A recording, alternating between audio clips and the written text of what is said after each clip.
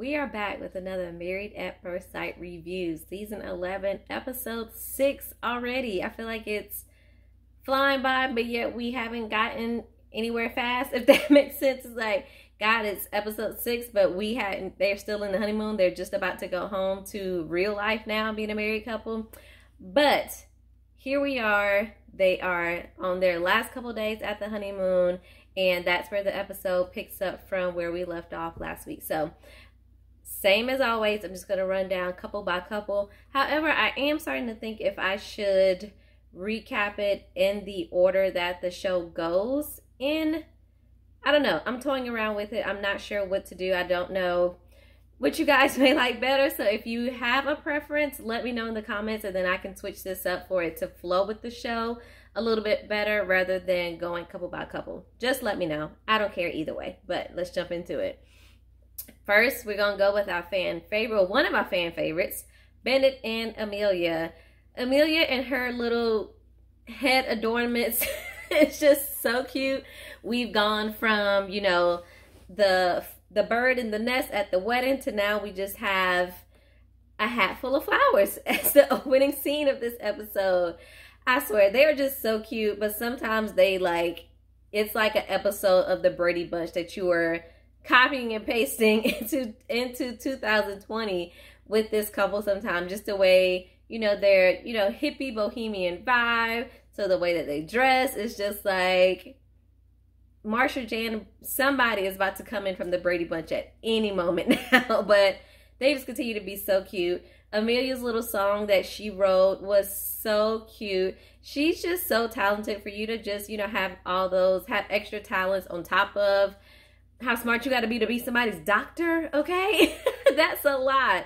So I thought her song was really cute. Her little guitar playing and her voice gave me really Alanis Morissette vibes back in the day. She was giving me that. I was like, okay, Amelia, super cute little voice. I like it. So, um, moving on with them throughout the episode, we see them still continue to talk as we've seen on the past um, other episodes of just them really having these deep, meaningful conversations to really learn more about each other, the upbringing, their family, and things like that. I continue to absolutely love that piece of them that they have this way of having really important conversations and being it being really deep and meaningful but at the same time it's light if that makes any kind of sense at all. But it's like they can gather all this information and just have these easy deep conversations without it feeling like you're like interrogating somebody or getting too deep or being too nosy or whatever it is.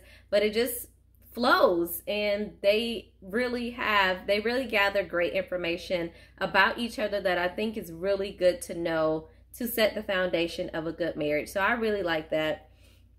Um when they went out to well I'm going to save the the piece of when they went all went out together. I'll maybe save that for the end. So um when they were on the floor and they had built their little fort because there was something that they wanted to do before they left so they knew it was coming up on the last night. So they went ahead and did it. Um, cute for y'all to do that and everything, but I don't even like to walk on hotel floors barefoot. Talk about laying on the floor. Not my cup of tea, but Ben and Amelia, it's right up their alley. I can totally see them doing that even before they did it. Um, and her just falling asleep on him, I was like, y'all just falling into this whole married life real easy because that that's what that's what wives do. You say you're not gonna fall asleep. You say you're not tired, and as soon as the movie goes on, you start talking. You knocked out. It is what it is, Bennett. Get used to it. All right, and then we move on to Olivia and Brett. Sorry, I'm using my computer today, not my phone for my notes because I was just sitting in bed watching it and it was easier to type here than on my phone. So that's why I have this out in front of me. Next, we will move on to Olivia and Brett. Um, Brett just continues to, you know, tap dance on my last nerve with almost every other thing that he says. Um, he made, you know, these really petty comments about, you know, her brushing her teeth and flossing when she was like, you know, she may not do it every day. And he was just like, he acted like it was just completely disgusting. Yeah, my hand would have met his face, probably. Yeah. Mm-hmm. And then once they went out to dinner with each other, um, and Olivia brought out discussing salaries and how much they're making, and they you saw them whisper in each other's ear how much they were making. And I don't know if you guys knows, but I could immediately tell. Which I think I expected her to make more money than him. I mean, she's a nurse practitioner. She's gonna probably make more money than he does. I can't even remember what it is that he does, but nurse practitioners make pretty good money. So I'm just like that's probably going to be a given that she's going to be the breadwinner in this situation. But I immediately felt like his demeanor changed, his attitude towards her. It was like everything shifted just a bit because maybe he thought about it, but I guess the reality of it was a whole different story for him. But I was like, dude, you you were already skating on thin ice, and for him to act like this, it just made it ten times worse. Because I felt like every time she had something to say after that in regards to money, as they were talking, he had a rebuttal for it. Um, so you know, her saying, you know, she liked to go out to eat, she liked to drink wine. He's like, well, I'm fine with cheap wine. And then she mentioned, you know, having nice things or something. And he was like, well, I'm just used to going without. And then she again mentioned, you know, buying her things or going on trips and things like that. And he's like, oh, I'll just rather invest and build long term. Okay, that's what you like to do, but she's telling you what she likes to do. This is not a tit for tat or for you to one up or make you look so humble while she looks like she's so materialistic. Like that's how it came off and it aggravated the hell out of me. I was just like, Olivia girl, I don't see how you are doing it, but she is doing a great job of like holding it together and still being very sweet and genuine. So kudos to you, girl. Uh, but he just continues to have like a sense of humor that I don't quite think Olivia gets it. And it may end up being a problem for them because he does say little snide things that I think he means as a joke, but she really doesn't laugh most of the time. So since he has that sense of humor, we know that his family also has this odd sense of humor and they have no intentions of changing themselves for anyone else. That I think, you know, him, especially being coupled with his family, that that may end up being an issue for them long term because it just, it gets annoying real fast. So good luck with that. Um, swimming with the stingrays when they did that looked really fun, but you know, if you grew up in the era of Steve Irwin, yeah, once the stingray took him out, I was like, we done with the stingrays. Every animal loved Steve, and the stingray took him out. I was like, no thanks, but it was so cute. Um, let me see what else that didn't include the dinner that I made notes of. Um, seems like it was pretty consistent in my notes that, excuse my French, but I just kept saying Brett's an asshole. He is an asshole. Like, he just kept doing things throughout this entire episode to really show us that he's just he's not ready for this. He's a little bit too self-centered and I don't think he's really ready to incorporate somebody else's wants, needs, um, thoughts, attitudes really into his life. He just thinks the way he thinks and wants to do what he does and it's right and whatever. He just doesn't want to move past that. So I don't know how that's going to work out. Um, I did enjoy the conversation that Christina brought up to Olivia towards the end about her just having, you know, seeing red flags and just wanting her to be careful about that. I know Olivia felt like she kind of took offense to it of like, you know, she's only been around him a little while. How she's going to tell me, you know, more about him when I've spent more time with him. Well, to be honest, you've only known him for like a week as well. So I think Sorry, that was my dog. He started making a weird noise. He's like, what's wrong with? Um, but for her to just really kind of to push Christina's thought off just a little bit, which I understand. It's like, it's my husband, this is my relationship, kind of mind your business, but also making sure that you're also listening to other people. Because again, when you're in the situation and you're trying to make something work and you like somebody, you're trying to build that connection, you can ignore red flags that other people may be able to see. So, just not saying you have to believe everything or feel everything that they feel, but definitely take heed to what they may be saying um, because I feel like everybody has kind of picked up on that. They maybe haven't told her, but they've seen it. But just, you know, take heed, keep it in the, you know, back of your mind of like, let me just make sure I'm keeping my eye out and I'm not being foolish with everything. So that was all um, that I thought that was the issue when they talked. And then just him having an attitude with her that previous night after they did meet with all the couples and they had their little conversations, him having a nasty attitude with her that night And she was trying to, you know, ask him, well, you know, when we get back home, what are you looking forward to? What do you want to do? And he was just real short with her because he was in his feelings from earlier, but he could not verbalize that he felt some kind of way earlier, but just had an attitude and it made her have an attitude. And I was just like, yeah, you need to fix that. So I'm glad the next morning he did end up saying something and addressing his behavior. I just hope that's not a running theme of you are not going to be able to constantly, you know, dislike something and then you have an attitude about it and then just try to apologize the next day thinking that that's going to make everything better because that is going to get old real fast as well of you need to be able to handle yourself and your emotions and your attitude a little bit better than that. So we're going to skip on over to Henry and Christina. Literally, my notes are like this much on um Christina. They just, oh my God, I just, I might have to go back and watch the first couple seasons of kind of just what the information was about the two of them to try to still figure out what the experts saw to match them together because I'm just, I'm missing it. I am totally missing it with these two. They just seem so opposite. I know they say opposites attract, but it's like they're just so polar opposites that I just don't know how this is going to work out for them in the long run. I just don't get it. In the beginning of the episode, her, you know, talking to him, I believe they were by the pool, and she just kept pursing her lips a lot, like,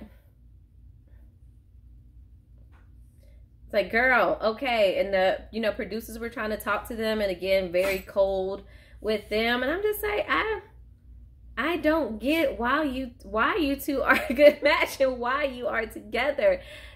I, I don't know. I'm still trying to figure it out. But she just continues to say that, you know, she wants him to, you know, take charge and, you know, be this manly man and things like that. And I'm just like, that's that's not who he is. This man said he's never approached a woman at the bar. This is not who he is. Like, I don't think, no matter how much she wants him to be that way, I just don't think Henry has that innately in him to be an aggressive type man. And I think even if he did do that, it would not be who he is. So it would still feel very awkward to him because it's not in his nature to act that way. Um, but she just keeps saying that's what she wants. And I'm like, I don't think you're going to get it out of him, honey. Like, I think they the experts have just done both of them a very much a disservice in putting them together because it's just it ain't good. But you know, whatever. Um, once they showed them back on the um, paddle boat, I was like, Lord, they put Henry back out in the water in a boat. he already thought he was gonna kill himself last week when they were in the boat and then here they come this week. Y'all got him on a boat in water again. And when christina fell i was like he's gonna have i knew he was gonna have something to say because he's just so dramatic and cautious about basically any little thing that you do can cause death. And he's like i'm about to become a widow already. And i'm just like henry give me a break my dude. Give me a break. It is not that serious. Just live a little. I was happy to see for a little bit this episode. He talked a little bit more. Um, he actually did a little bit better when it came to eye contact. So I was like, okay, looks like he's trying, but it just continues to look so awkward. And it just, it's uncomfortable. It just looks uncomfortable for the both of them, and it's uncomfortable for us to watch as well. So, Jesus, we are on episode six. I hope this gets better with him as the episodes go on. Cause man, um, yeah, I don't know. Let's move on to Karen and Miles. Um, I thought it was really, really big of Miles to let Karen know about his um, diagnosis of being clinically depressed that was huge to not only share that with someone that you really don't know that well, but to share that on national TV, knowing that the whole world, well, everybody that watched the show is going to see this. I thought that was huge of him. Because um, again, there's always some sort of stigma around, you know, mental health and depression and things like that. So I thought it was important for him to bring it out and make it, you know, make it more normal. A lot of people have it. A lot of people have it that are not diagnosed and aren't taking the right medication and just all over the place.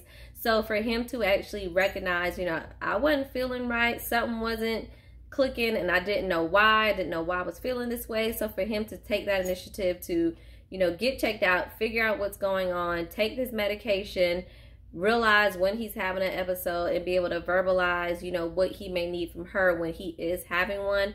Absolutely loved and that showed so much maturity with him. But of course, on the flip side, I know Karen, I feel like she's to add that into the little black book, to the little, all the rest of her notes of, why this isn't a good guy for her. So along with, you know, her not being, she don't like to be called a cougar, with him having so many monogamous relationships, with him being younger than her, she's just going to add on this clinical clinical depression to that list of things so that in the end when it comes she's going to have this laundry list of things as to why she cannot stay in this marriage. So I kind of took it for what it was because she even said it and she kind of used that of saying, you know, I I wanted somebody, you know, masculine and for, you know, him to now I'm, I'm not saying her exact words, but to the effect of him to now share this information with her on their honeymoon. It's like, girl, just because he told you that does not mean he's a man. I think that really shows his masculinity that he's secure in it to be able to share that information with you so soon and on national TV. Like, I'm beginning to not like Karen she's starting to get on my nerves every episode. Um, so yeah, I I wanted it for her, but I feel like since the very beginning with her getting the text message and her looking at his social media and things before the wedding, that it's just been downhill for her since then. And I just don't know if they're if they're gonna be able to overcome it despite whatever Miles does, because he is being a gentleman, he seems to be sincere. It just seems like whatever he does, it's not going to be enough to maybe keep her in this marriage and grow to wherever they need to go. So, I don't know. Um, and then I really. I couldn't believe that Karen slept in a hoodie. Like that morning they woke up, they were about to leave. She woke up in a hoodie. I mean, if that isn't saying, don't touch me, I don't know what else is. But she is like straight up, nah, I don't want I don't want you to even think you have potential of getting in these draws. Cause it ain't happening. I'm sleeping in a hoodie. That means I don't want to be touched. Okay. And I'm just like,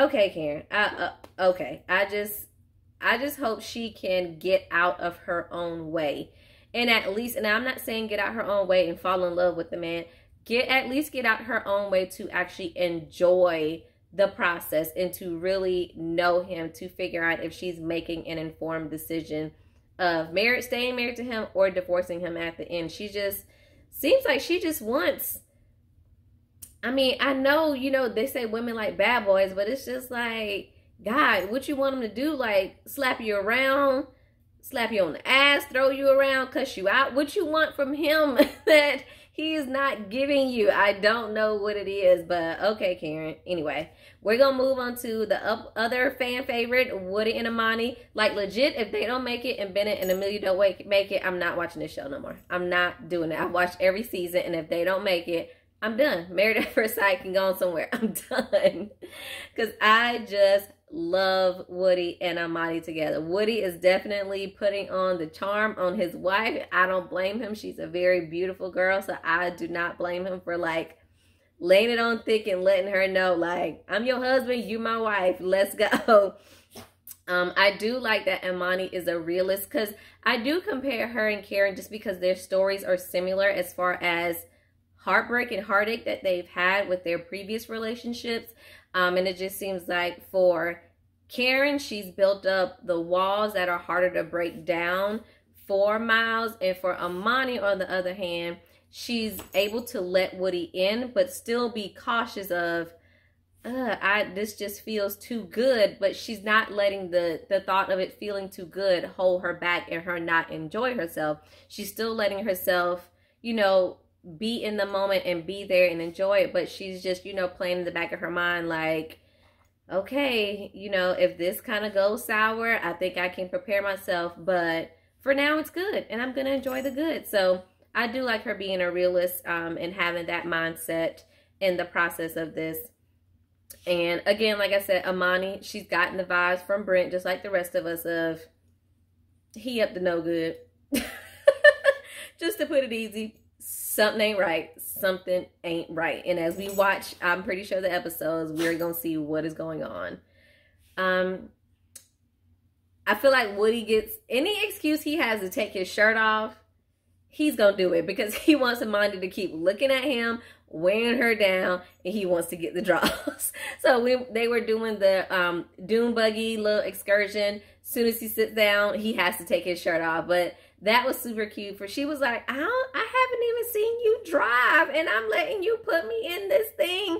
So just you know, her having you know that courage and safety to actually just let him take the lead and drive. That looks super fun. That would be something I would definitely want to do if um, I had the opportunity to do an excursion like that. That looked like it was so much fun, but.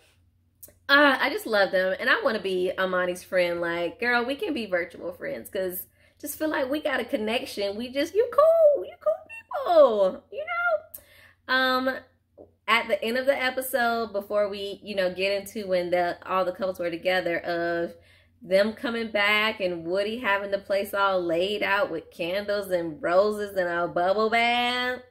Girl, we know what was happening. we know what was happening. Okay we knew what was about to go down. The way she walked in there and saw it, it was like, okay, that took that was the key to unlock the last notch of the chastity belt. It is gone. Let's get it popping.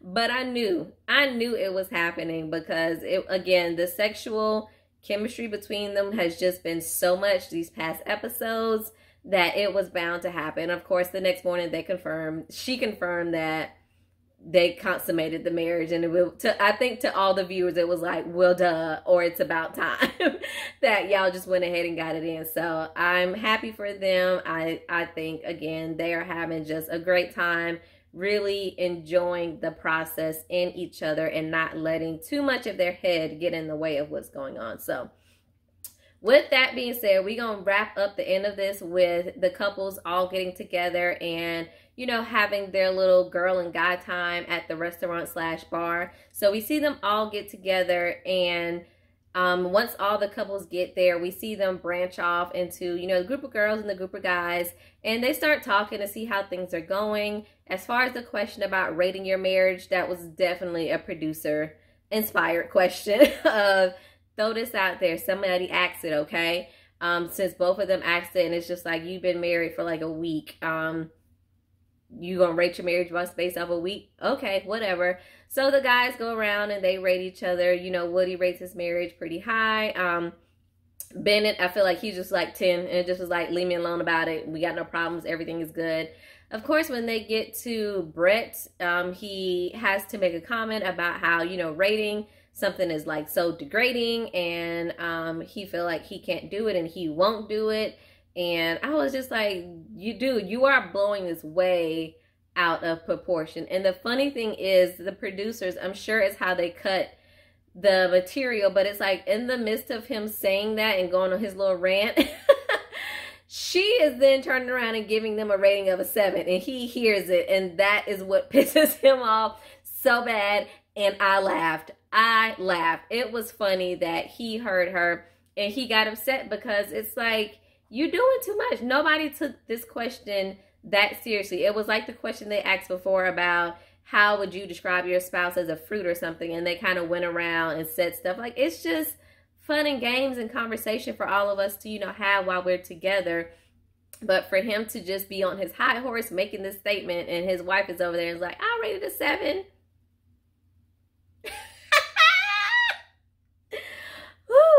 So funny that she did that. Um, and his little feelings was hurt because he felt like he was doing so much that I guess he felt like if the rating I'm sure was a 10, he would have been like, okay, I'm cool with that, even though, you know, rating is just, you know, so bad or whatever. But since she didn't give him a 10 and he felt like he was doing so good, he got in his feelings about that. So I was like, you know, whatever. I feel like I don't know why Christina and Henry are on opposite sides of the spectrum because it's I think Henry rated them like a seven or eight and she was like five and I'm like Henry y'all are not a seven or eight. Y'all are close to a four or a five like she said. Like y'all are not there. Y'all are not even having really deep meaningful conversations not even just about each other but about your families if you're uncomfortable talking about each other you're, y'all are not there. You're not having that. You're not kissing. You ain't showing no affection. Like, you are not a seven or eight. not even.